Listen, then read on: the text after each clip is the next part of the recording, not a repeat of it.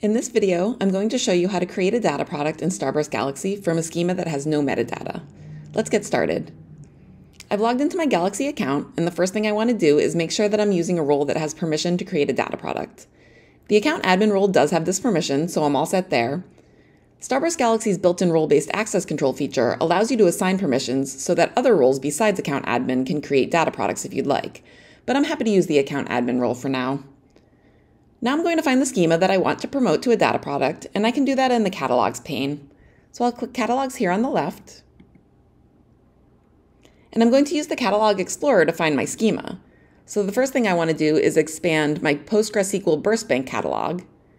And then the schema that I'm looking for is BurstBank with stats, so I'll click on that. And as you can see, that opens up the information page for the BurstBank with stats schema. And then all I have to do is go over here and click Promote to Data Product. I want a meaningful name that will be helpful for data consumers looking for this data product. So I'm going to call this Burst Bank. And then in the summary box, I'm going to add a description of the data that's included in this data product. The description box gives you a lot of flexibility to add things like images, links, and code snippets. You have to use Markdown for this box, and you can find guidance on using Markdown in our docs. You can click this little button here to be taken to that page. I'm just going to paste in the markdown that I have for this data product.